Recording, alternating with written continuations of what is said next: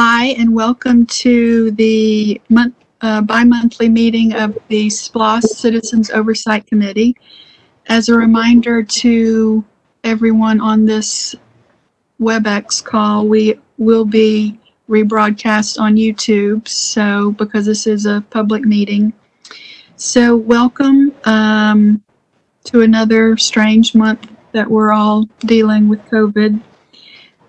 I uh, think I have most everybody called roll to be sure you're getting counted as present. If not, now's a good time to speak up. Jay's here. I wasn't on the roll call yet. Okay, Jay's here. Anybody else? All right. Um, you should have received a copy of the minutes. So if you've reviewed those and if there are no changes, I'll entertain a motion. Move to approve, move to approve, Madam Chairman. Thank you. Jay second. Thank you. All in favor, please say aye. Aye. Can't see everybody, so is there, if anybody says no, I'll need to, to hear that. No nos? Great. Minutes pass unanimously. And now we'll go to hear from the Finance Department. Good afternoon, everybody.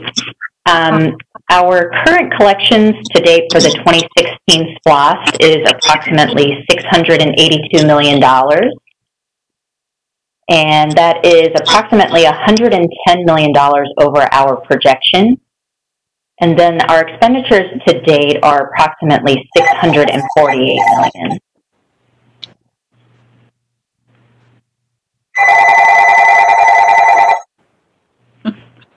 All right, are there any questions regarding finance report?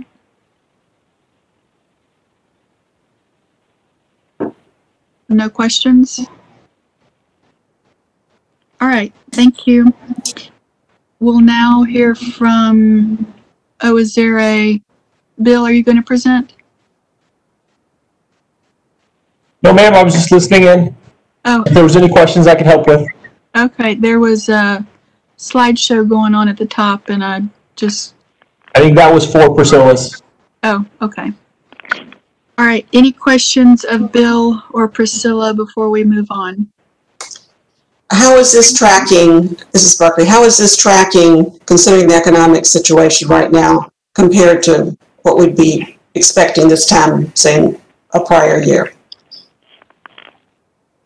We actually had a very solid collection last several months. So we were anticipating a downwards, uh, downward trend in the actual collections. So just to kind of give you an idea, August of 20, we collected $13.5 million. And then August of 19, we collected four, just over 14, but that was the highest, one of the highest months that year. So we're pretty good as far as pace of where we've typically been. Um, calendar year 19, just to kind of give you an idea, we averaged roughly 13.4 million. So we're right on right on pace to where we were for fiscal year 19. We really anticipated this to take a slide back.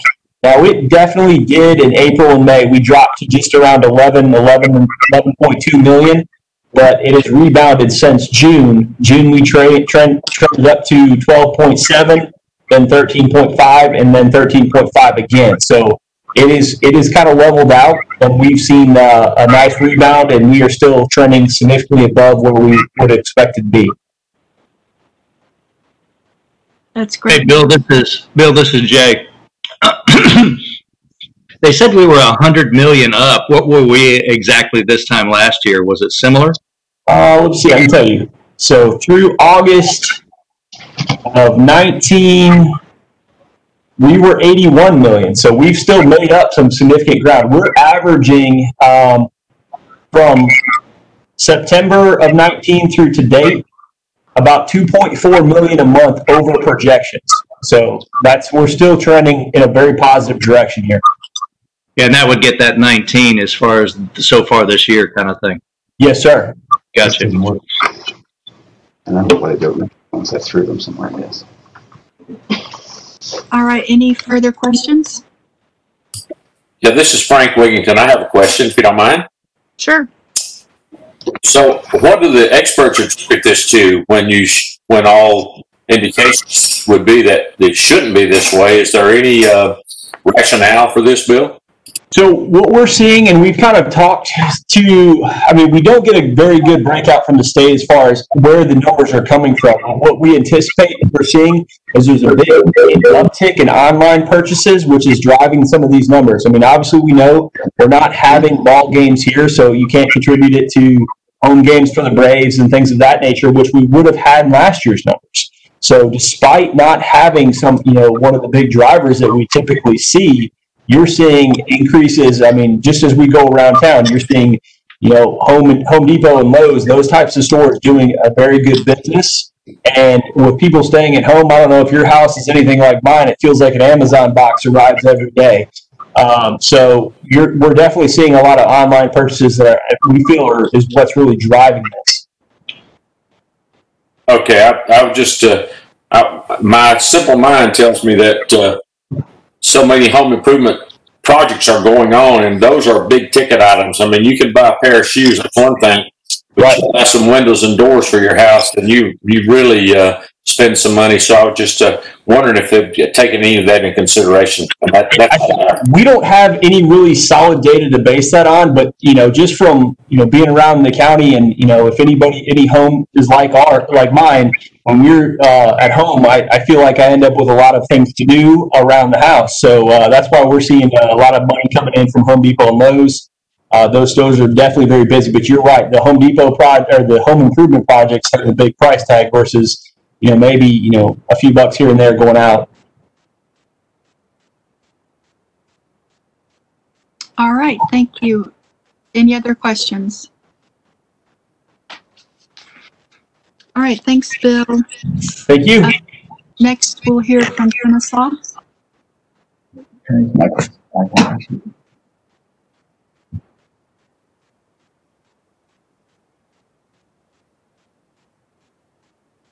Is Kennesaw online? Yep, sorry about that. Uh, That's okay. Yep, my name is Marty Hughes. I'm the Assistant City Manager for Kennesaw, and I'll be the one giving you the presentation of Okay, our SPLOST program. great.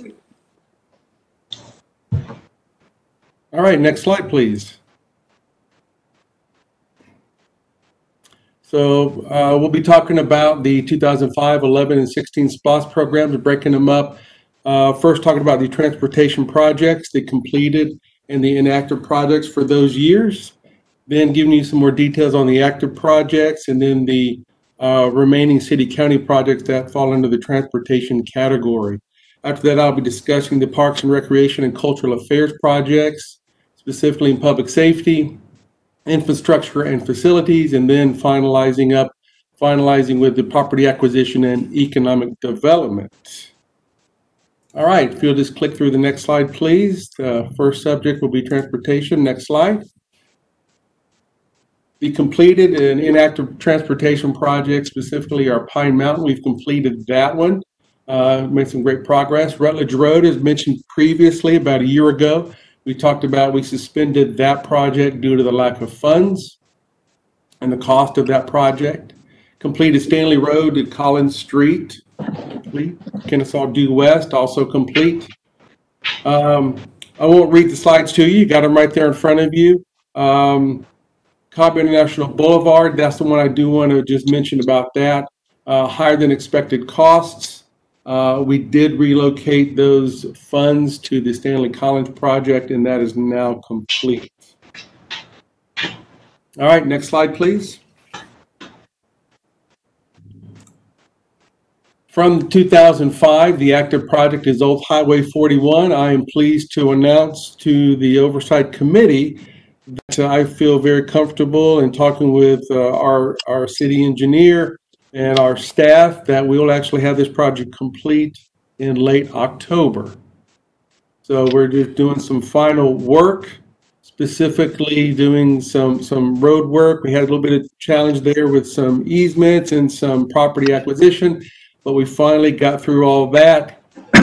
Though the rains that uh, occurred earlier uh, in the project definitely was an issue, but more importantly, as we're all affected, uh, COVID uh, really, really hampered the completion date uh, of this project. But again, as I mentioned, this project will be complete at the end of October, early November. Next slide, please. For the Cherokee Street improvements, uh, going to be widening this road to three lanes, improving some intersections, uh, also adding some curb, gutter, and sidewalks. Uh, This um, was a two-phased uh, SPLOST project from 2005 and 2011. You can see the expenditures there. Uh, Estimated start date is November 2020.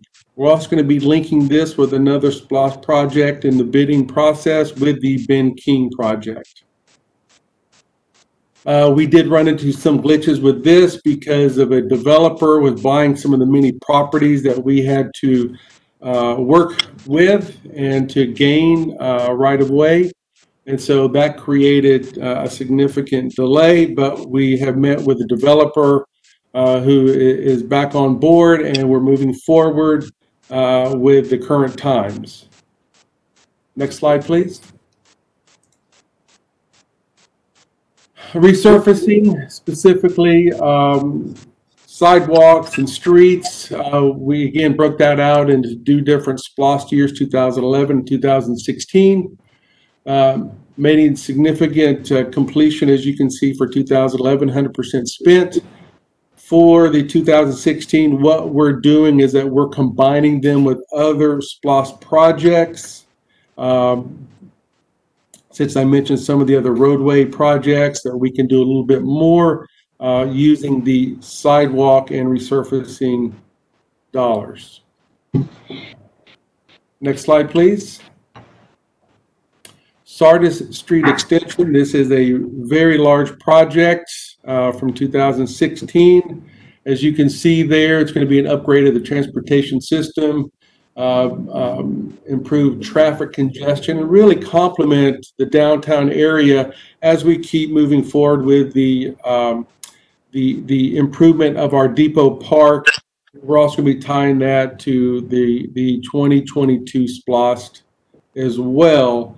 Uh, but in that meantime, uh, we're doing a lot of preliminary design work is underway, working with our city engineers, and we're just working um, at at spending that money as smartly as we can, knowing that this is going to be a very long-term project. Next slide, please.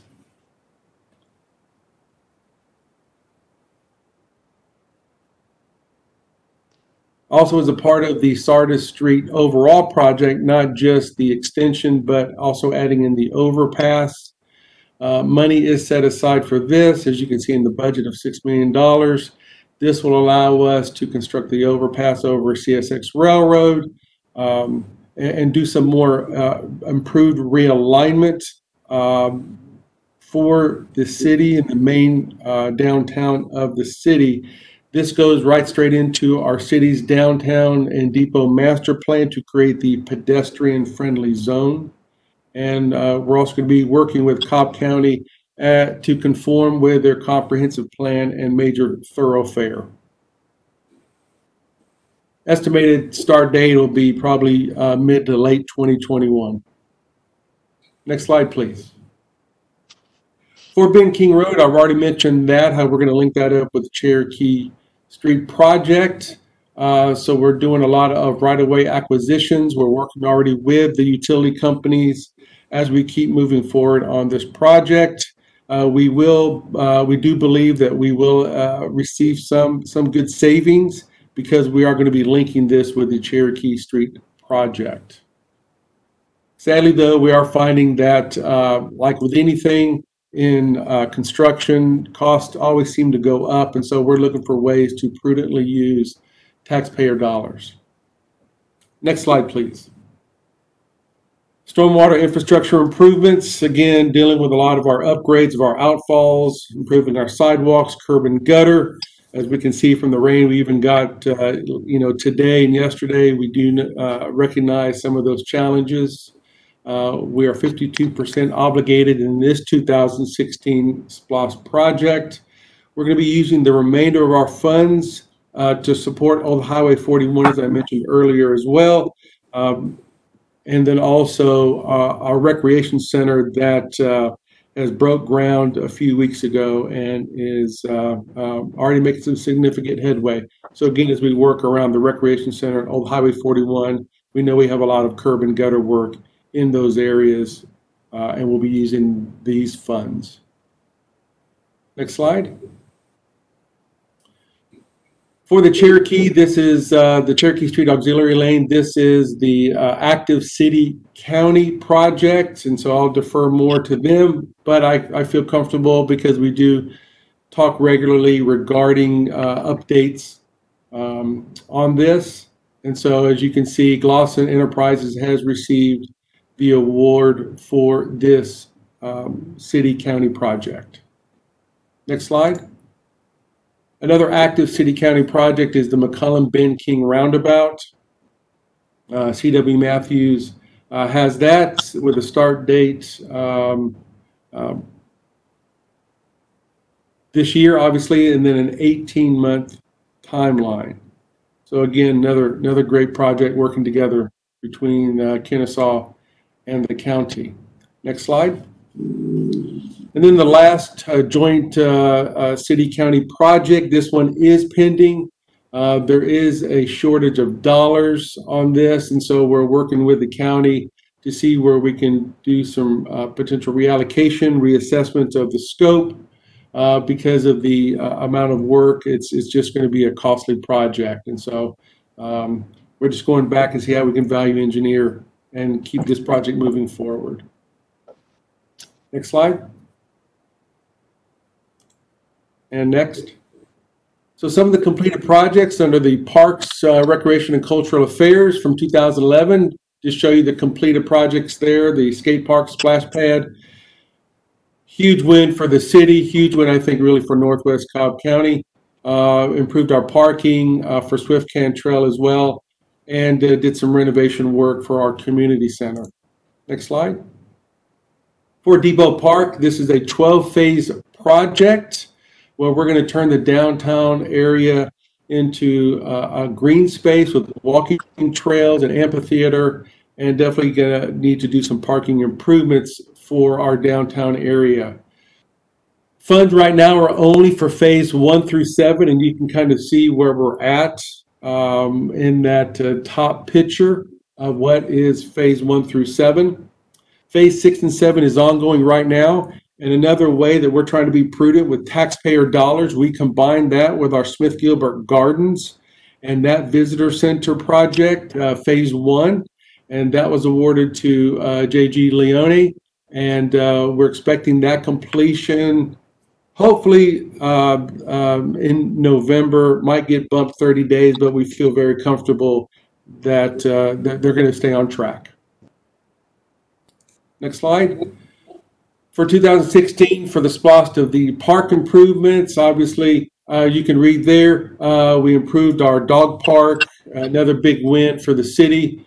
Uh, the synthetic surface for the playgrounds, um, volleyball court, tennis courts, just those typical areas that were really to expand our parks and recreation opportunities there.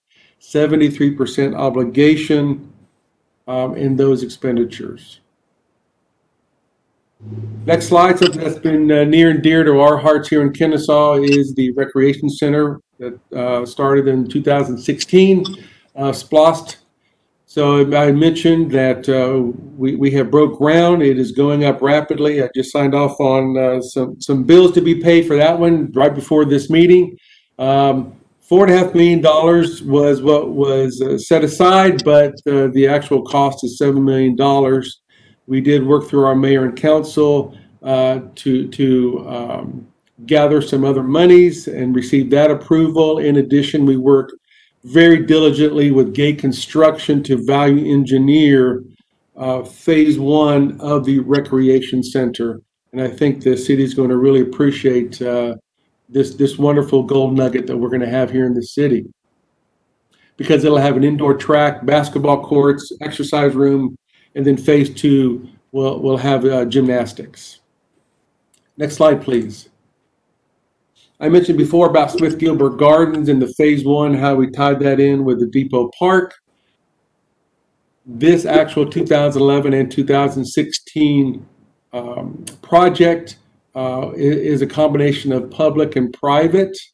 Phase one is the uh, public part, obviously with the SPLOST dollars, where we're doing the site work for the parking lot. As you can see in the picture there, uh, where the bus is and the cars parked, that's kind of phase one.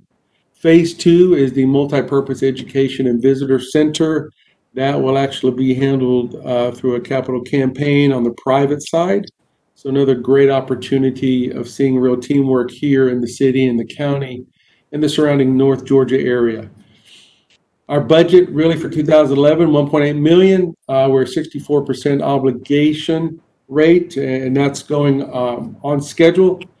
The 2016, uh, we're just now beginning to to uh, utilize those funds, but we again feel very strongly as we keep moving forward with phase one that uh, uh, we'll be uh, prudently using the taxpayer dollars and and and, and spending those funds accordingly to stay on track. Next slide, please, for public safety, infrastructure, and facilities and acquisition development. The first one that we want to show is complete is the purchase of, of the police vehicles and the uh, countywide radio system upgrade. So those were 2005 and 2016 SPLOSTs. Next slide. Um, for 2005 and 2016, we have uh, improved many parts of our facilities regarding ADA standards, energy efficiencies, uh, roof repair. We just completed the roof repair a few months ago for City Hall. And we're also looking at not only doing the uh, uh, cybersecurity upgrades, but also actual physical security upgrades to many of our city facilities. We've already expended all the 2011 dollars. Um, and then now we're, we're about complete with 2016 dollars. We have a few minor projects that we're going to be doing for uh, facility improvements, and that will pretty much clear out the entire SPLOST budget um, for infrastructure and facilities. So the last slide I want to present to you is the property acquisition and economic development. Uh, that again is tying in with other SPLOST projects to support economic development, road widening, uh, road widening, Depot Park, and the gardens. Again, looking at it from a holistic standpoint for the city and how we uh, uh, adequately use these funds. So we're about uh, 45% obligated of using those funds as we again link them to other SPLOST projects. All right, next slide. That's all I have. Are there any questions? Uh, I'll be glad to answer for you. Marty, I know you can't advocate, but I was wondering if you had been able to educate the public about the upcoming SPLOST. I know it's been challenging to do much of that, but I was just curious. Yes, um, I, I've tried, but it's it's been so difficult to engage people with the COVID.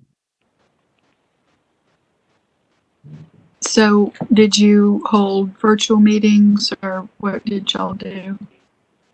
Uh, I I showed up to the first couple of um, meetings, but that that's all I've been able to do.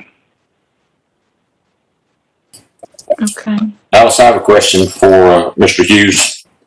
okay. Um, two, actually. On Parks and Recreation side, uh, I get a, a lot of questions about this for all parks. Um, are y'all doing anything, uh, in building any pickleball courts? I know that sounds kind of trivial. I don't play pickleball, but I understand it's such a, a growing thing, especially, especially with the, uh, now it's, I, can't believe like you can't even get a pickleball court open. That, that's one thing. And the second part of my question is, uh, how much of Cherokee Street is going to be historical, and who is that deemed historical by the city or the state, or how, how what is the historical significance of part of Cherokee Street being deemed uh, historical? That, that, that historical, so I'll answer your second question first. The, the historical part is, is uh, decided by the state, and our planning and zoning um, uh, director is working with the state in that regard. To answer your second question, or your first question, uh, regarding pickleball, you're exactly right. Pickleball is, is a great sport, having played it a few times myself just to kind of get that experience. Um, and, and that is going to be one, one uh, opportunity that will be uh, within our new recreation center. Okay, I understand they're fairly inexpensive to build and maintain, and they are uh, greatly used. So I, I appreciate that, and I'll pass that on to the folks that asked me about it. Thank you so much. Arthur. Sure. Mr. Hughes, do you um, typically post signage along a project that's being funded by SPLOST so that the public knows uh, where the funds are coming from? Yes, we do. We try to, yes. Great. Hey, Marty, this is Jay. Hey, uh, Main Street. I'm concerned about Main Street. I guess the Sardis and the Moon Station thing that's coming will relieve a significant portion of Main Street because Main Street is backed up to the airport half the days, and and we had a little bit of a reprieve, you know, with COVID, and seemed nice there for a minute. Me living on Main Street, but now it seems to be back to the even worse than it was pre-COVID. When do you think that that you know the Sardis Street and that stuff as far as relief and how much relief do you think it's going to bring to Main Street once that's completed and when do you think it'll be completed?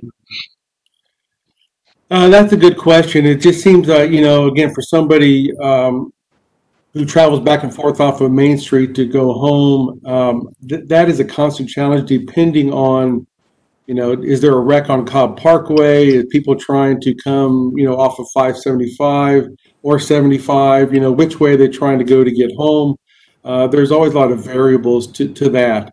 Um, the way that we keep talking about Sardis Street Extension in particular is trying to alleviate some of that pressure off of Main Street, whether it is, you know, getting the trucks uh, and putting in our truck route signage that we've done, getting them um, a- away from anywhere near downtown because that is always a problem. Obviously, trucks can't come downtown across the, the, the tracks.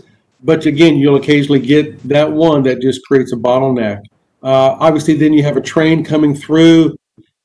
You want to go by the museum, that creates the bottleneck as well. So again, trying to alleviate some of those, you know, opportunities um, of where you're going to have to face a, a railroad. I think by creating that uh, Sardis Street overpass, I think will immediately provide that relief that everybody keeps looking for, Jay, as you're talking about.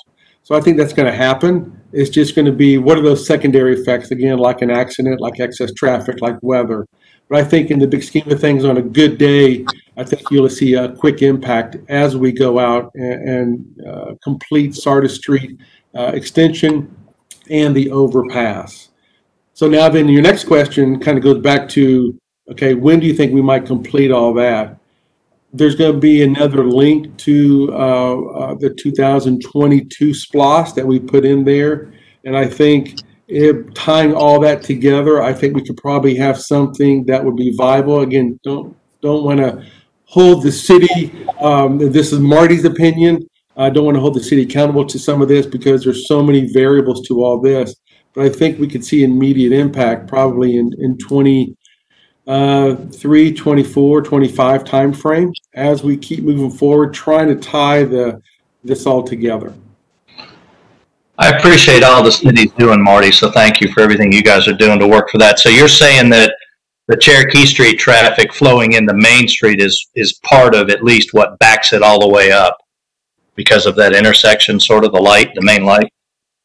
Um, I'd have to go back, probably do a little bit more digging on that, just to make Mhm. sure that I'm not going to speak off the cuff on that. But I, as I have personally seen, there's a lot of complexities of the road uh, traffic that comes in and out around Main Street. Yeah. You got Moon Station coming in, then then you obviously you got McCollum. So there's a there's a lot of different tentacles that reaches out that and people looking for the side roads as well. That just creates the bottleneck around Main Street. Just exactly to your point.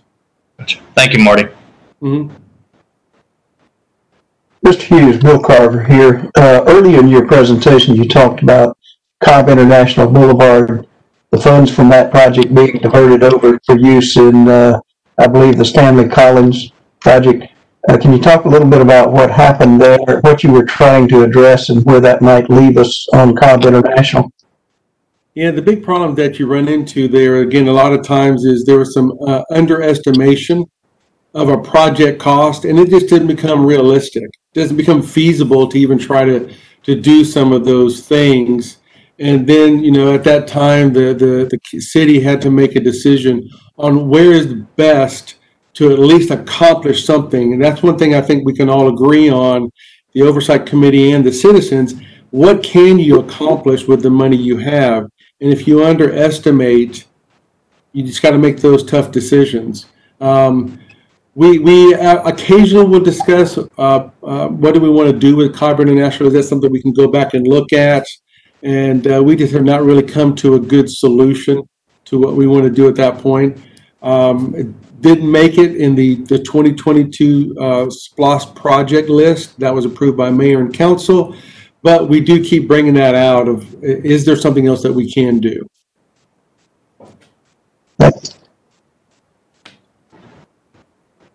Anything further for Kennesaw?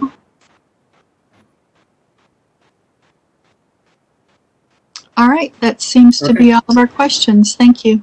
Great, thank you. All right, Powder Springs, are you on with us? Hi, good afternoon. Uh, yes, we are. This is Pam Connor, I'm City Manager with Powder Springs. I'm glad to be here with you again this afternoon. Um, our city engineer and SPLOST program manager, Croy Engineering, is here as well uh, to present. Chad Kastner, I think, is on. Yes. Are you Chad? Okay. Um, so thank you for being here. Chad's going to go over the things that we've completed um, with our 2016 program and then get into what we have uh, underway right now, as well as what we have planned for um, the next year and a half to complete out the program. We're happy to answer any questions at the end. Thank you, Pam. Um, my name is Chad Kastner. I'm the program manager with Croy Engineering for the City of Powder Springs, the SPLOST program. Um, I'm going to run through this with you today. If you will, next slide, please. This is our tier one project list. Um, this was in the memorandum that was voted on by voters and passed. This is our um, project list that we've been working off of. Next slide, please. Our public safety has been a really great part of our SPLOST. We've um, done our radio lease with Cobb County with it, our software upgrades, and vehicles. It's been a great way to keep our public safety employees working hard and having good equipment. Next slide, please. The linear park is another one of our great features in the city. It ties to the Silver Comet, and we have actually been able to leverage several programs such as DNR money. Um, we did a grant to help fund a part of our special needs playground, our all-inclusive playground. We have used CDBG money to pay for certain aspects, and it has really grown, and it has gone all the way from the 2005 program all the way up to the 2016 program, and we even have money in the 2022 program um, that's budgeted to help keep growing it. Next slide. Hopkins Road and Lancer Drive parks are two passive parks that the city has some floodplain property that was deeded over to them, and they took the initiative to put in a, um, a pocket park at both locations. The one at Lancer has the volleyball court you see, and walking trails and picnic area, and then the one on Hopkins Road has a disc golf and walking trails also, and the community has greatly enjoyed these great facilities. Our facility improvements, we have done things such as the HVAC upgrades. We actually did an electrical upgrade to the court building that needs to be done. We have done citywide water heater changeouts, access control at uh, the Ford Center, fire alarm upgrades, roof replacements, and ADA compliance upgrades. Next slide. With our general streets task, we have done such projects as the Hotel Street parking lot, which has added much additional, much needed additional parking in the downtown area. Jackson Way, changing it to a one-way, which ties into our new downtown park. and adding more on-street parking. And Oakview, we were able to reconfigure the parking on it to add more parking right there on our downtown amenity. Flint Hill Road was a project that we did with Cobb County as a joint project, and there was a lot of safety issues in the area, and we were able to realign two roads and bring them in to an intersection and signalize it. And we have gotten great input from the residents and from people around the area, just saying how much they love this project and how much safer they feel driving in that area now with it. Our resurfacing program, we have knocked out several roads on it, and we have quite a few that are, we are currently putting out, they're currently out to bid, and we will continue to resurface throughout it. This has been a great tool to allow the city to keep their roads in excellent condition. The Broad Street project is currently under construction. Baldwin Construct, Baldwin is the contractor on it. This is an area with several businesses around it that needed to be redone, so we were able to reslope the road, put it in with better drainage and make it safer, make it ADA compliant, and make it more of a gateway to these businesses and to the downtown park. Intersection improvement, Florence Road, CH James. This project will include it, um, extending the turn lane, realigning the road to make everything flow better and to create some safety improvements. This project is currently under design right now and hopefully will be out to bid in the next 90 to 120 days.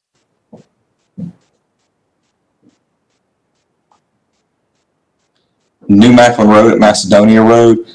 This one will be adding some um, signages and re, uh, excuse me, resurfacing the intersection, re-signing it and striping it to help improve some safety issues and help the timing on the signal to help the traffic flow more smoothly. The intersection improvement Sailors Parkway at CH James Parkway. This project will be modifying the current median to allow more storage space in there for to extend the turn lane to allow more traffic to flow. This project is currently out to design, I'm currently out to bid right now. The intersection improvement Dallas Fire Springs Road at Florence Road. This is actually a project that will bridge between the 2016 and the 2022 program to put in a roundabout, which you see in the top right part of the slide.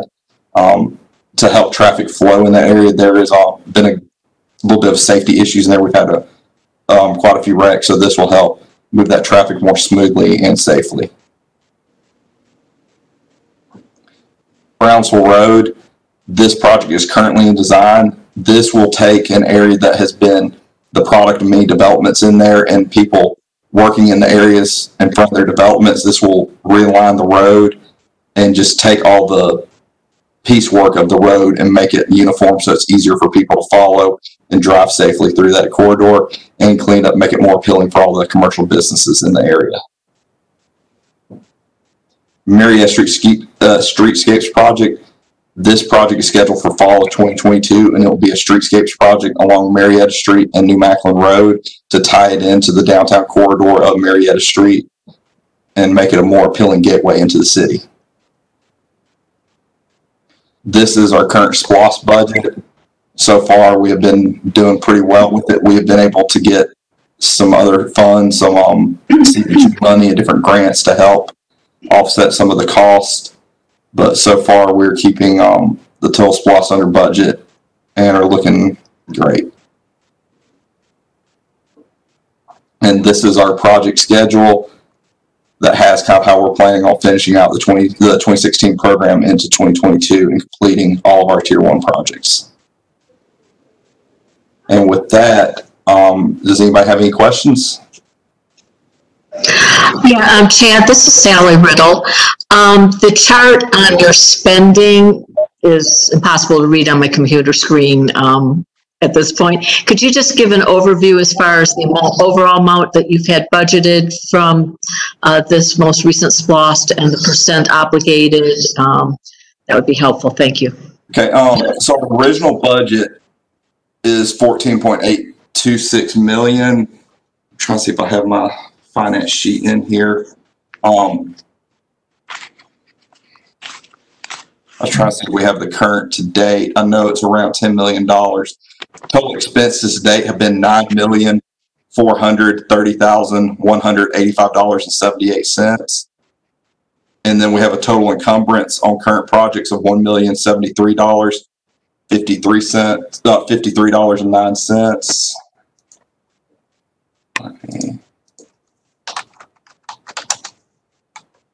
Trying to see if I can pull up my financial sheet.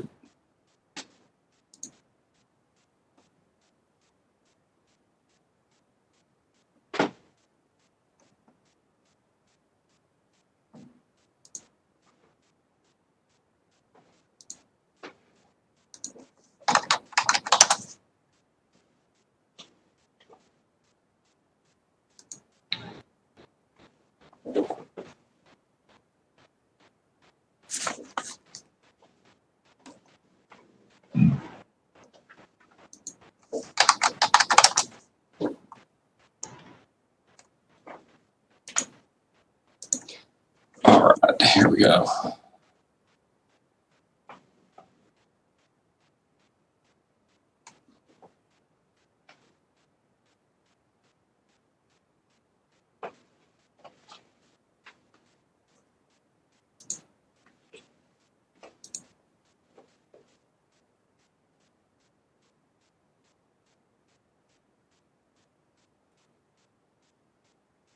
Chad, did you find it? Yeah, it's just having a hard time opening. I'm sorry. It's, I don't know what's going on our system. I've got the finance sheet. I'm just trying to get it open.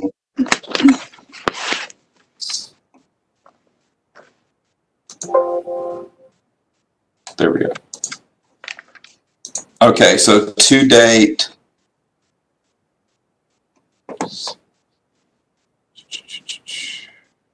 Looks like the to date is the ten million five twenty. that's our current obligations, our current, including all of our reimbursements and stuff, our current to date is thirteen million, one hundred eighty-eight dollars, four hundred thirty-six, I'm sorry, thirteen million, one hundred eighty-eight thousand, four hundred thirty-six dollars and ninety-eight cents.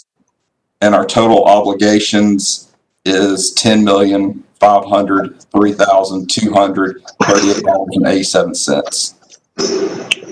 Thank you, Chad. No problem. Sorry, it took me a minute. Just computer didn't want to cooperate.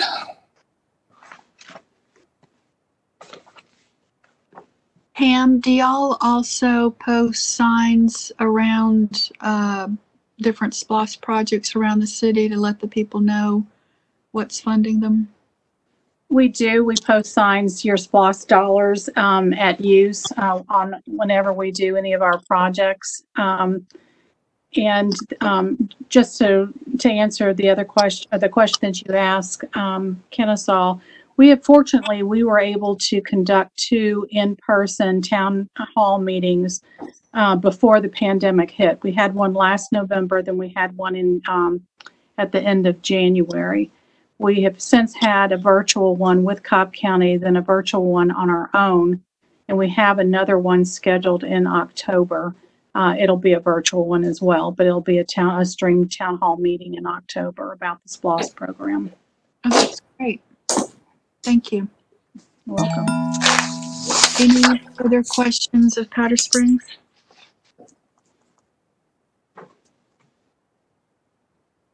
Last chance.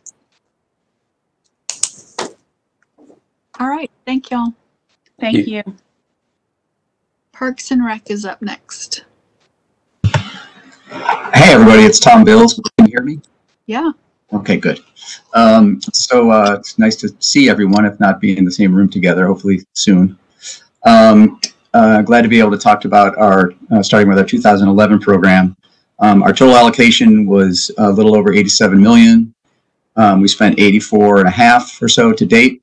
Um, we are chipping away at that last 1% of projects um, to, to be able to complete um, all of them. We are, the couple that I'm going to show you though, are um, a couple things that we're doing in uh, to just finish out some existing some projects that have already been completed. So I'll show you the next one in the next slide. This is at Lions Park. um, in South Cobb. Um, off to the left uh, and down a little bit out of this picture, um, you can see, you'd be able to see some of the um, improvements that we'd made in that park to the ball fields, the dugouts, and built a new uh, uh, concession restroom, which the which the original concession restroom is the one that's being pointed out at the top, um, and that's just below that red arrow. Um, to the left is the um, South Cobb Community Center. Um, the the new concession stand kind of took the place of the upper concession stand restroom and maintenance building that we had, and uh, it's kind of um, it, we had a little bit of money left, and the commissioner asked us to put it towards improving that building. So we're going to remove the picnic overhang that you can sort of see out the back, um, and replace the, the concession room and uh, with a breezeway. Um, it's out to bid now, with the bids due on the 8th. And the next slide will show you our concept of that. And use your imagination to put these two pictures together. Um, the actual building is there. Um, the, uh, the structural outline is below it.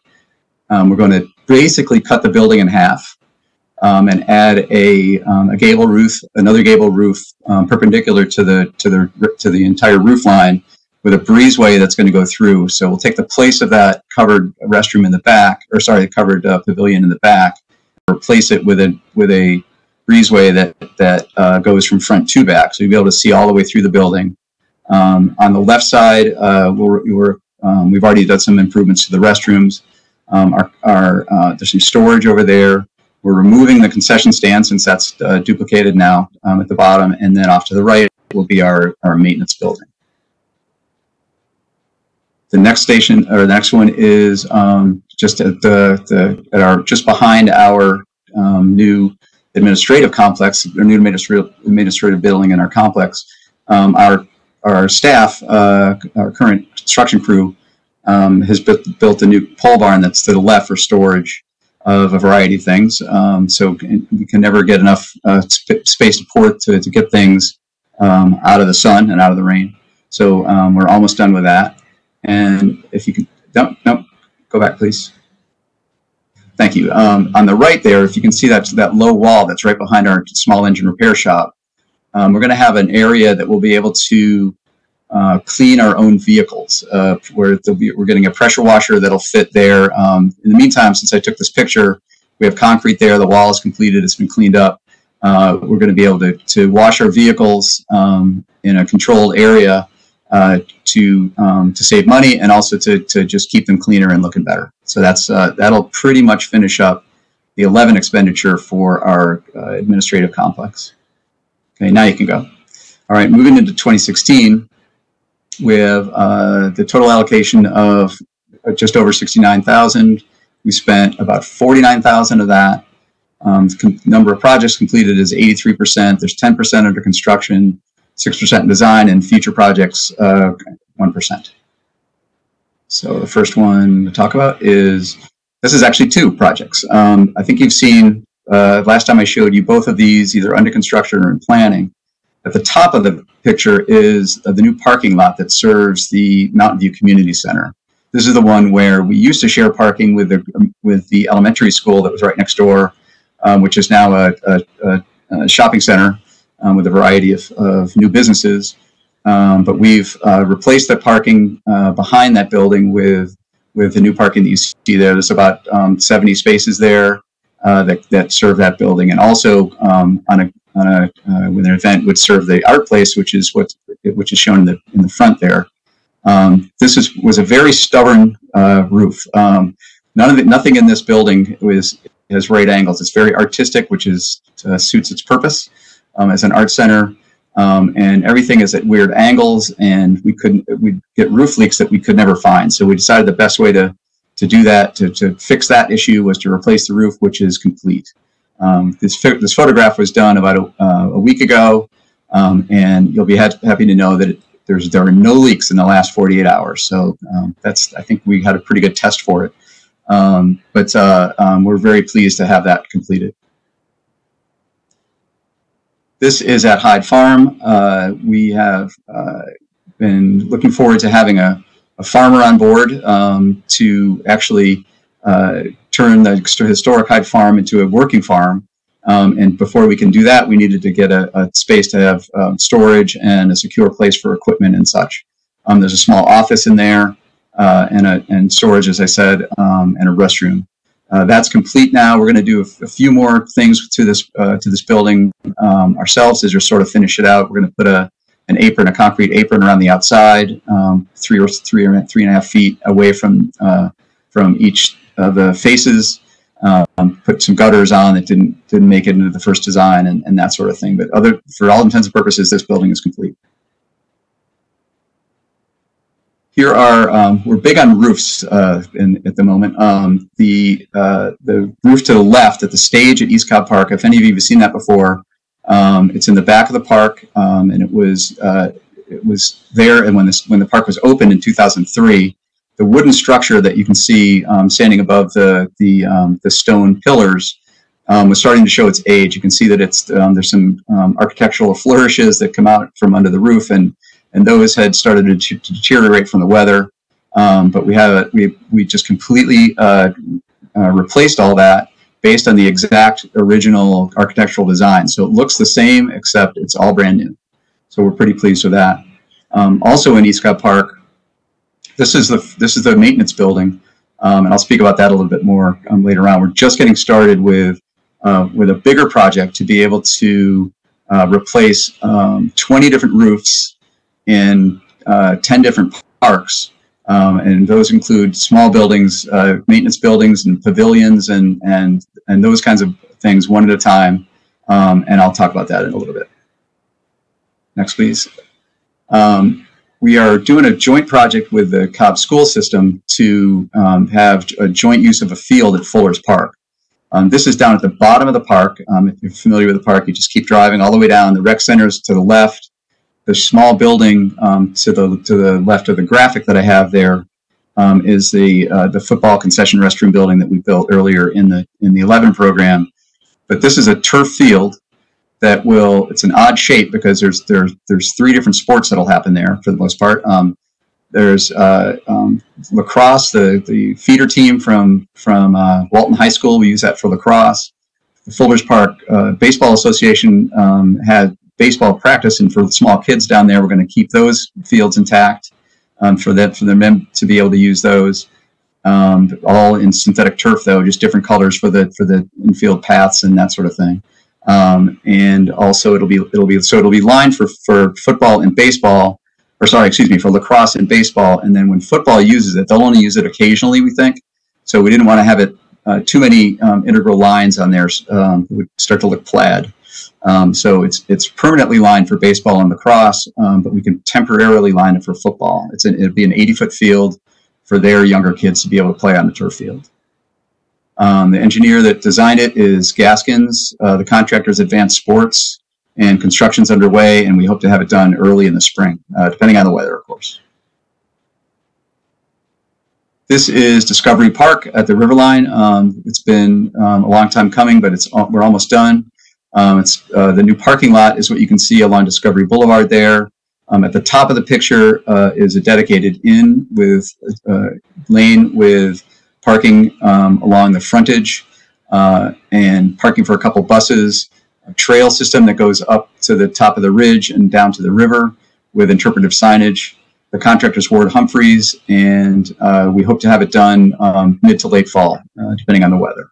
The next picture shows at the very top of that, um, it shows this sort of cutout, which is where uh, prefab restroom will come in. Uh, and uh, we're getting the plumbing ready. It'll just, the, the restroom itself will be small, one on each side, um, and it'll just hopefully fit perfectly right in that, uh, right in that uh, little cutout. Um, that is also the site of, of uh, where we'll have some signage and benches and and uh, and uh, trash cans and that kind of thing. So that um, that's sort of the entrance to the to the trail system. Next, please. Um, in our technology improvements, uh, the, the um, we have uh, security cameras that are going in um, in a variety of nine facilities. They'll integrate with what's elsewhere um, deployed out throughout the county in our enterprise system there, um, so that uh, public safety will be able to to to um, look at uh, anything of interest that they might see, um, have to see in a camera. So basically, it um, it it will show the inside and outside of the buildings, plus all approaches um, and a good shot of the parking lot. So we're pretty pleased with with this. The the, the Board of Commissioners has just uh, uh, awarded this contract, and uh, we're working through the uh, the contracts now. Um, uh, Kimberly and IS is helping us with those with the contracts, and uh, we'll get to work on that in the next few weeks. And we've also replaced the um, the mobile stage at Miller Park. If you've been to to um, unfortunately now's about the time of year where you'd be seeing this, but not this year. Um, we're able to, uh, we have a, a, a, mobile stage that, that we've had for years and was really showing its, its age. We were able to replace that um, with this, uh, and uh, it looks when it's being um, towed behind a, a truck, um, looks like a basically like a what you might see behind an 18 wheeler. But the next slide shows what it looks like in use. Um, this is that uh, it's like a transformer. It, it all opens up. It has integrated integrated lighting and sound. Um, the skirt around, the, the, all the stairs and a ramp that goes up to the stage, um, and it just it opens up. It's it's uh, um, it's a it's a pretty impressive thing. Um, and this picture, uh, the stage is on the left, and that was a an event at a drive-in cabaret. Um, there's another one I think that's uh, the schedule for this weekend um, at Al Bishop Park. Um, but the, the Lyric Theater uh, put on a show of songs from the from the 50s and 60s. Um, I do not have a picture. What if you were looking? If I were, if you look to the left and behind, you'd see a lot of socially distanced uh, automobiles in uh, designated parking spaces, and people uh, brought their chairs and their tables and flowers like they do at Chastain, and and everybody seemed to have a really good time. Um, it was a it's a it's we're being as creative as we can possibly be with uh, uh, the conditions that we have to face now um, with trying to get uh, people out of their houses and give them something to do. On the right side of this picture um, is something that we purchased earlier, uh, which is a, um, a, fairly large, it's about 15 by 8 foot LED screen that allows us to um, sort of simulcast uh, what's happening on stage so that the people in the back row can see what's going on. Um, if you get to be 30 feet away from that thing, it looks like a high def TV in your living room. It's it's it's amazing what what we can get now. And that's it. For uh, future projects, um, I've spoken to you in the past about our um, our this wayfinding uh, and uh, signage program. We're in the last stages of the design for that. Basically, the deliverable for that is a booklet of all the different signs that we're going to have and all of all sizes and uh, in our park um, in a single sort of graphical theme, um, but that serve different purposes. But uh, we're, we're in the final uh, um, stages of choosing the, um, the best value of materials and et cetera, so that we can um, have a book that we can hand to a variety of different uh, sign producers and, and everyone will be able to bid the same thing. All the dimensions, all the materials, all the colors, uh, the graphic, everything will be uh, will be um, laid out so that we'll be able to get um, apples to apples on all of our different signs throughout. Um, so uh, once that's done, I'll I'll uh, share that with you. Our old Clarkdale Park, um, in in right in the sort of in between Powder Springs and Austell, um, is under design. Engineering is is almost complete. The Larry Bell Complex um, we have uh, we're replacing all the sanitary, the gravity, um, the, the, gravity sewer in that park. There's four different uh, uh, fairly large, well-attended buildings in that complex, the Civic Center, Central Aquatics, Gymnastics Center, and Anderson Theater, all of which can have large crowds, all of which, uh, when you um, run water down the sink, um, it all ends up from all four buildings, by the time it gets back down to, to Glover Street, is in one six-inch terracotta pipe. Um, it is, um, we've been worried about that um, ever since we sort of figured that piece out and uh, we're replacing that with something that'll that that um, it hasn't failed yet. I should I should uh, be careful not to say that again. But at any rate, um, we're replacing that. That project will start in a couple of weeks. Uh, the, the, the notice proceed is I think a week from Monday. Um, again, I, I, mentioned before about the, the roof replacements, um, 20 pavilions and smaller buildings in 10 parks. We've completed five of them, including the one I showed you from East Cobb and um, we're very pleased with that with the contractor. Um, they're doing an excellent job and they're staying right on schedule. Uh, and finally, the last one I wanted to talk about is Stout Park in Powder Springs. Um, we're nearing completion of design on that one as well for an equestrian park on our 300 plus acres down there. Um, and uh, that'll be an, uh, just an amazing addition to our program. We have a couple places where people can ride horses, but this is going to um, replace those uh, very, very well. So that's uh, that's the designs are almost done, uh, and um, we're ready to go. Any questions?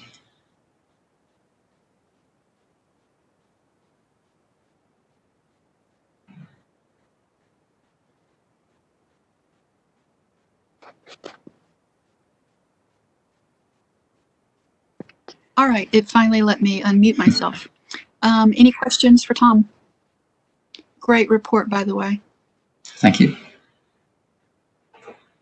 So that um, stage, new stage that you showed, that would be like out in the restaurant pavilion area of the fair normally if today was a normal day. um, well, what's lovely about that thing is it can go wherever uh, the North State Fair folks want to put it. But yeah, that's probably where it would be. Um, it was it, it's, it deserves to be front and center. Very good. Is it about the same size or a little different? It's a little bit bigger. Um, I think it's a little bit deeper, um, and it's certainly um, safer, uh, um, and, and, certainly safer on the road as well. That was one of the issues um, that we needed to that we really started to to, to um, look for a replacement. Hey, Tom, this is Jay. Hey, I, I'm going to ask this question again about those signs. Is there any any support or any uh, marketing, any any sponsors of those signs that are going to be sold by the county to defer the costs? Um, we're working on that now. We have we have a, uh, a consultant who's helping us, uh, or a firm that's helping us to sort of get a sense of, of what the value of those should be um, uh, in terms of you know what's a what's a reasonable thing that, that a sponsor would uh, would pay for um, for different parks and different size signs and that sort of thing. So we're getting close to that. We are. Yeah, we were close a couple years ago. Fair enough. okay. All right. Thanks. Let us know. Thanks. Okay. Sure thing. All right. Any more questions for Tom? Okay, next time in person. Thanks, people. Thank you. Have a good one. All right, DOT. Good afternoon. I hope you all are doing well and staying safe and dry um, with all this crazy weather we're having. So, um, for transportation, we're going to talk about the 05 program, the 11 program, and the 2016 program. And um, in our 05 program, we had 30, 345 transportation projects that were identified, and we are 99.42% complete now, thank goodness. So if you go to the next slide, you'll see that we have one project that's actually in design now. That project's Bob Callan Trail Phase 2, and it's scheduled to let summer 2021. And the funding for that project is all Cumberland CID and the Georgia DOT. Um, so there's no county SPLOST dollars associated with that project other than we're helping to manage the project um, from engineering into construction. And then um, in construction, we have our last project that is that has been advertised, and it is our Bells Ferry Road intersection improvement at Turner Turner Road and Dixon Road. It was let to construction. Um, construction should start this fall, um, and it's about 270 days um, that it'll take to construct that, and that's a joint project with the city of Marietta. So on the next slide, you'll see um, this is where we're at today. And if you'll remember, the last time we reported in May, we're really we're really happy to, to see this. Um, our goal is to complete um, the 05 SPLOST program before the end of 2022. It still sounds like a ways away, but we've we've made a lot of progress since May. Um, in um, May, we had five projects that were in um, um, in progress or close to completion but not closed out. So we've whittled that down to three projects.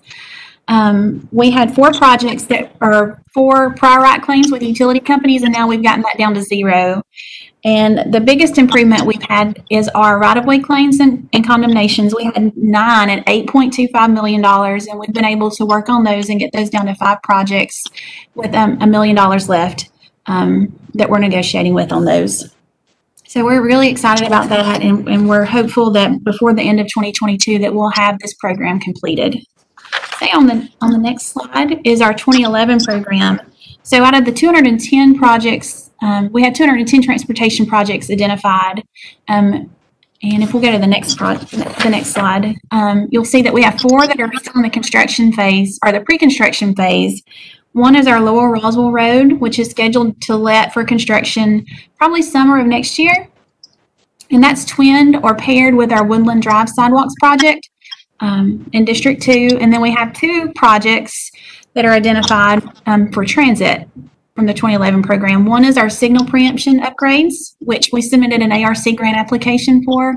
And then also our park and ride transfer facilities, which we also submitted an ARC grant application for, but we've not, um, when ARC um, reviewed the the project submitted for the 2019 tip solicitation, they they did a kind of a step back. They they did um, approve some projects, but they're waiting to see how collections and the digest come in for the state before they move forward with um, further um, project selection. So we'll probably hear more about additional projects that we submitted on probably late this year or early next year which would include in those those two projects that are listed in our pre-construction phase.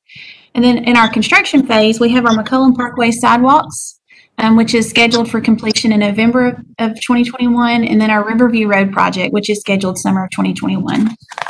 Okay. And this is kind of the same. We um, we we've been whittling away at, at our program. So for May of um, this year, we had 25 projects that were in progress are close to completion but not closed out. So we've been able to, to reduce that number by 10. And then also with our unresolved utility prior rights, we had nine, um, and we've, we've whittled those down to three. And then in our condemnations, we had 14, which we've been able to reduce down to nine. So we have a total of 27 active projects. And our goal is to, to finalize um, our 2011 program before the end of 2024. Okay. So in our 2016 program, this is where we're at today.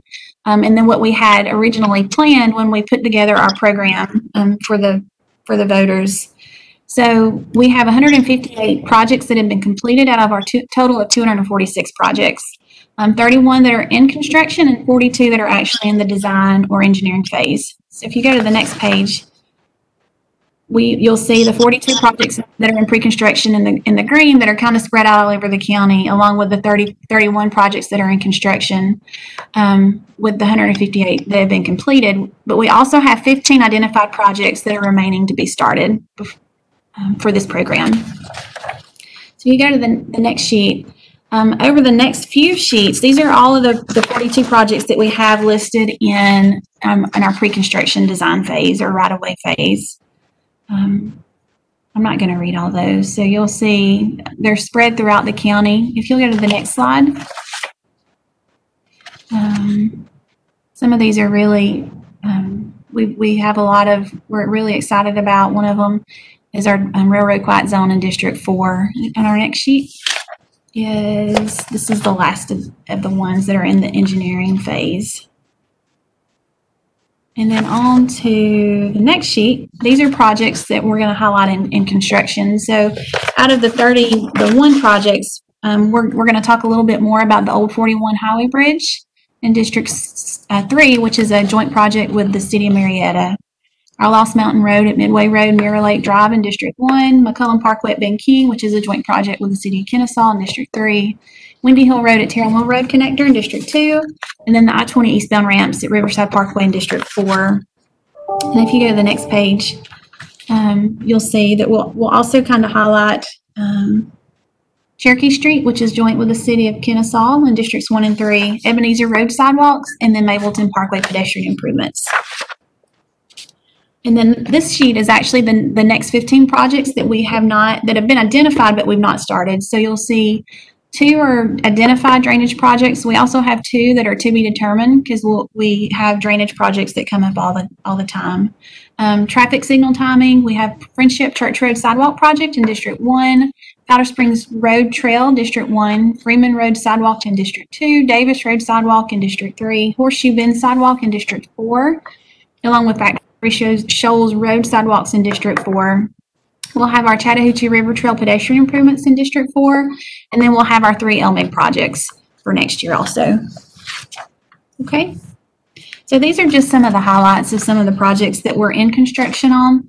Um, the first one is our Powers Ferry Road over Rottenwood Creek tributary, which was, it was a bridge replacement. We replaced back with three triple eight, eight inch, eight by eight reinforced concrete box culverts. Um, and that project was completed in August of this year. Okay. And our next page is um, Woodland Brook Drive over Gilmore Creek. This was another, another bridge replacement project with um, double 10 by 11 box culverts. Um, this was contracted by CMES, and we also completed it in August of this year. Okay, so this is our um, project down in District 4 is um, Factory Shoals Road with Harmony Leland Clay Elementary Schools, and this was a school zone safety and operational improvement project. Um, we did um, as we worked with the Cobb County School District as they relocated Harmony, Leland, and Clay Elementary Schools. Um, and we completed this in July of this year. This project is a, a, joint project with the City of Marietta, and it's our Old 41 Highway Bridge over the CSX Railroad. Um, contractor CW Matthews, and we are scheduled to complete the project summer of 2021. Okay, our next one is a project in District 1, which is Lost Mountain Road at Midway Road, Mirror Lake Drive. Um, this was a safety and operational intersection improvement where we're realigning Lost Mountain Road and Midway Road. Um, and then also this one is a um, CW Matthews project and we're scheduled to be complete by December of 2020.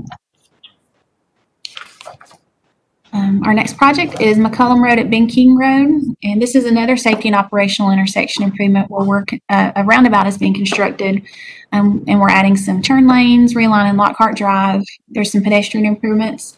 Um, this is CW Matthews also, and our, our goal is to have this completed by November of 2021. Okay. This is a, one of our, probably the biggest project in our 2016 program, and this is our Windy Hill Road Terrell Mill Road Connector project. And um, we had hoped to have a groundbreaking ceremony on this project, and unfortunately, with um, COVID and just how everything happened, we were unable to do that. So we'll definitely be hold, holding a, a, a, ribbon cutting when the road opens, but um, hopefully we would love to um, the CFC, if they're interested, come out when it's safe, just to do a tour maybe of the road and see how it's going eventually.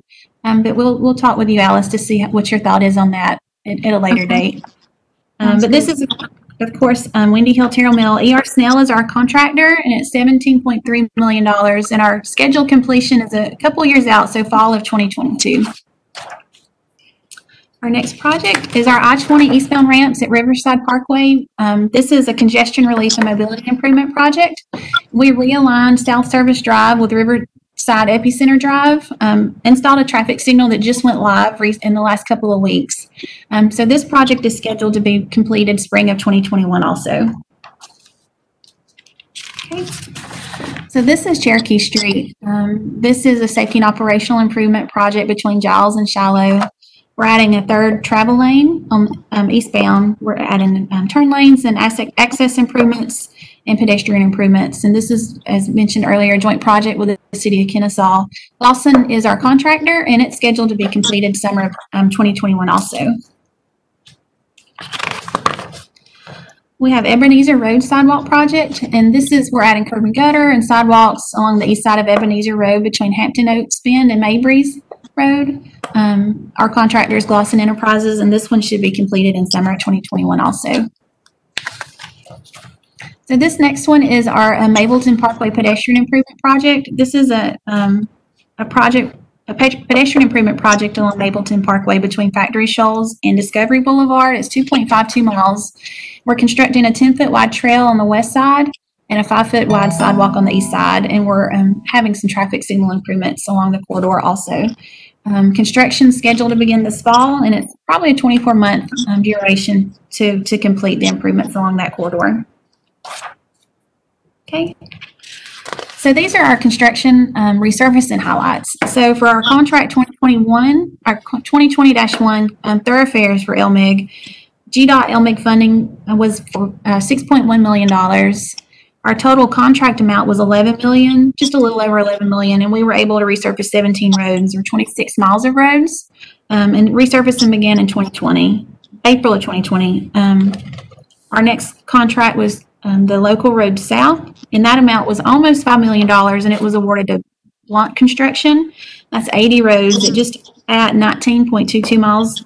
Um, we began uh, resurfacing in May of this year. And then we have our local roads north, which was $5.7 million with Bartow Paving Company, which is an, um, another 85 miles, um, 85 roads just, just over 19 miles of roads. And we began resurfacing in June of this year. So these are our next planned next steps. So we'll have 13 projects that we plan to have completed um, by this next quarter. We'll have 12 construction starts, which will be a bridge project, eight drainage projects, an intersection project, and two sidewalks. Then we hope to begin design or engineering starts on three drainage projects, three sidewalk projects, and three resurfacing projects. And I'll take any questions. Um, I was curious about the construction cost and materials. Have the expenses gone up, stayed about the same, or come down some? Actually, and I can I can verify this. It seems like our asphalt um, prices have come down a smidge. Um, so we did get a little bit better price on asphalt this this last time um, on our some of our resurfacing jobs, but um, I think some of the other materials have, have stayed the same or kind of gone up some. It's kind of a mixed bag. Okay. Erica, Yes, ma'am. would you, would you explain what LMIG stands for? Oh, I'm sorry. It's our lo- local maintenance. Um, oh, what's the I stand for? LMI um, grant through Georgia DOT. It used to be the old MARC program, but that they they utilize that program and look at how the population of a county and then how many road miles that we actually have, and they use that to determine how much funding each county will receive or city would receive to go towards um, resurfacing or whatever falls in that category. Yes, ma'am. Thank you. Uh-huh. Any other questions for Erica?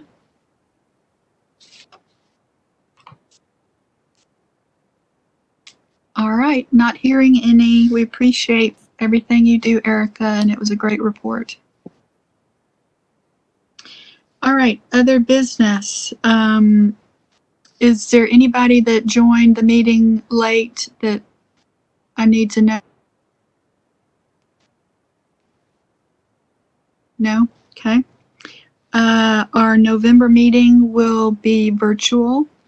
So if there's no further business, y'all have a great afternoon and we'll see you in. Alex, Al- excuse me, it's Barkley.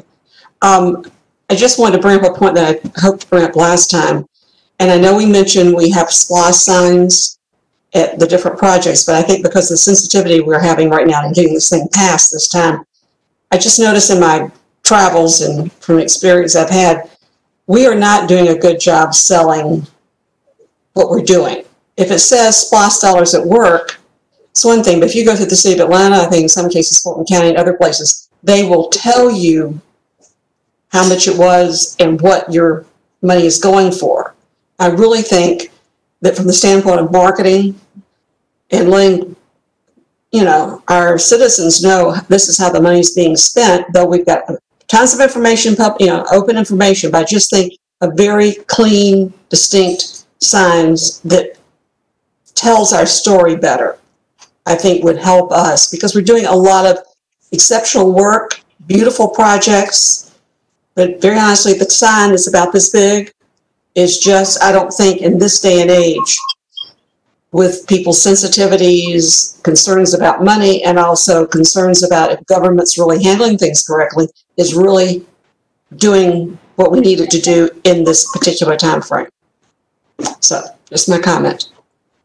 So a typical sign then in, At- in Atlanta, say, would lay out, this is how much this project cost, and this is how much SPLOST paid toward this project, that type of thing? Yes, and also, particularly when things are coming out of the ground, I mean, you can't really do it for us, but when stuff's coming out of the ground, say a fire station, there's a rendering on that sign.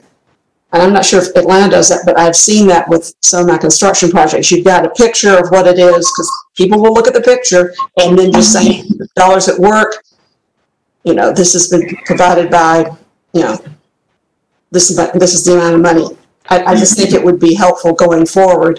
It's hard to do when it's maintenance, it's hard to do when some things are not quote unquote very sexy, but I think we really could help ourselves moving forward. And I know they're not inexpensive to do. Sorry about my dog. Um, but I think if we had a template and we might could do it so to where you could use a base and then add to it and pull it off. Um, but you know, the folks in Overwork Parks are trying to figure out their signage. Maybe they can, maybe they've got some ideas too. But that's just, and I'd be glad to look. Next time I see some, I'll stop and take pictures. If you would, I think that would be really helpful to pass those along because I agree with you. We don't do enough to promote SPLOST to the public so that they know how this project got built or how this building got here. And if we could improve that going forward, um, maybe we would be helpful going down the road to have SPLOST thing here for a while. I, in my professional career in public relations, when I have the opportunity and there is public money paying for part of the project, I will, mm-hmm. it doesn't always get in the paper, but I do include exactly how the funding is coming about when it's public dollars. So that's another piece of the puzzle that can sometimes help is, is just being sure that it's addressed how the funding is put together. Combination. Yeah, Well, if you can do that, I would I'll appreciate that. I'll be glad to. All right, anything further before we adjourn? Yeah, Madam Chair, this is Jay. Um, you know, you're tripping my, my feelings on that stuff. There's lots of ideas I have as far as continuing the SPLOST and getting, getting people to be aware of, of all that's around them that SPLOST is paying for and SPLOST is doing. I think if we work through the, through the cities or through the county as far as the website, and every time you go to the website, it says, do you know how much of this stuff that you get to enjoy or drive on or appreciate SPLOST is paying for? And we hit them with that at, the, at hello, essentially, in a lot of these, in a lot of these areas. It's an idea that I've had for a while.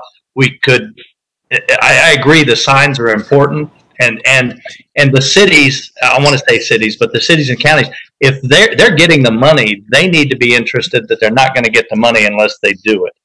Well, and I think it's and promote it. important, I think it's important to have a template so that everything is consistent. And also, we could ask them to do sliders on the fir, on the main page, their homepage of their websites. So every picture that comes across currently is all information about things that have been paid for by SPLOST. Whoever runs the webs- websites may hate me by now, but Yeah, like, like, like I was saying, we hit them at hello mm-hmm. and let them know everywhere they're going in the county, we're telling them that this is thanks to, kind of. Mhm. The spot is making their life beautiful in a way, and I don't think they know it. I agree. They have no, no idea. Yeah, the problem is, is it really, we're now talking about what to do with the next lost, if this one's, appro- if the next one, when it's approved, because absentee ballots are going out tomorrow. Yeah. Okay, and early voting starts in just a couple of weeks. And so, you know, the one thing we can do is, you know, all of us can share information on our personal social media and ask our Cobb County friends to share. But we're really, you know, behind the eight ball right now because of those town hall meetings have been canceled and, and everything. And, you know, the election's on top of us now. Yeah. Do we have like a short fact, sh- I've- been sent to me, so I'll admit to not knowing where it is. But do we have like a short fact sheet or something, say, we can post on next door, or I can put out to my civic club here in my community, that we all have kind of the same talking points? Um, I can and get back to you. Yeah, I think that'd be helpful for all of us to have that and share it, be able to share it in our different, um, ways we communicate. Okay. Well, these are all some really good ideas and, um, if you have more, please let me know. And if there's nothing further, y'all have a great afternoon. Thank you. Thank you.